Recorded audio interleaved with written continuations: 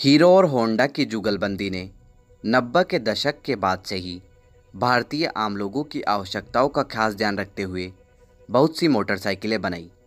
उन्हीं में से एक मोटरसाइकिल थी हीरो होंडा सीडीडॉन सीडीडॉन एक बजट मोटरसाइकिल थी, जिसको भारतीय आम लोगों की आवश्यकताओं के अनुसार डिज़ाइन किया गया था। बीसवीं सदी की शुरुआत में आई इस शानदार मोटरसाइकिल से। लोगों का एक अलग ही लगाव रहा है। तो चलिए दोस्तों एक बार फिर चलते हैं सीडीडॉन के शानदार सफ़र पर और जानते हैं इसके इतिहास को। साल 2003 में आई सीडीडॉन बाइक अपने समय की सबसे सस्ती और लोकप्रिय पेशकश थी। इसमें सत्तानवे पॉइंट दो सी का इंजन लगा था, जो कि सिंगल सिलेंडर 8000 आरपीएम पर 7.4 पीएस और 5000 आरपीएम पर 7.7 एनएम का उत्पादन करता है। उसी इंजन को अब काफ़ी हद तक परिष्कृत किया गया और कुछ समय बाद इसे बी एस फोर में बदल दिया गया। सीडीडॉन का वज़न 107 किलोग्राम है और यह बाइक पिचासी किलोमीटर पर आवर की अधिकतम रफ्तार पकड़ सकती है। इसकी बिक्री के समय इसे मेटल फेंडर और स्पोक व्हील्स के साथ पेश किया गया था। सीडीडॉन एक सामान्य बजट वाली बाइक थी, जो कि भारतीय आम लोगों के लिए बनाई गई थी।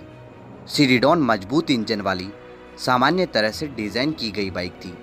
जिसमें एक आरामदायक सीट का उपयोग किया गया था। दमदार इंजन की वजह से यह बाइक ग्रामीण क्षेत्र में बहुत पसंद की गई। सीडीडॉन को सिटी हंड्रेड और टीवीएस स्पोर्ट की टक्कर में मार्केट में लाया गया था और यह बाइक कंपनी की उम्मीदों पर खरी भी उतरी। बाइक आम लोगों के बीच बहुत प्रसिद्ध हुई, जिसके चलते इसकी बिक्री में अचानक से वृद्धि हुई। सीडीडॉन अपनी लॉन्चिंग के बाद से ही अविश्वसनीय प्रदर्शन और आरामदायक हैंडलिंग के अलावा, ये बाइक लोगों के भरोसे को जीतने में भी कामयाब रही। इसकी रखरखाव लागत लगभग न के बराबर है, जिसके कारण कोई भी आम इंसान आसानी से इसे अपने परिवहन के साधन के रूप में काम में ले सकता है। तो दोस्तों, यह था हीरो होंडा सीडीडॉन का शानदार इतिहास।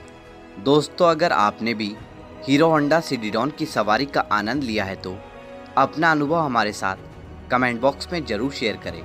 धन्यवाद दोस्तों। दोस्तों, इसी तरह के इंटरेस्टिंग और इन्फॉर्मेटिव वीडियो देखने के लिए हमारे चैनल द हिस्टोरिक भारत को अभी सब्सक्राइब करें और बेल आइकन का बटन दबा दें, जिससे आपको हमारे लेटेस्ट वीडियो सबसे पहले मिल सके। धन्यवाद दोस्तों।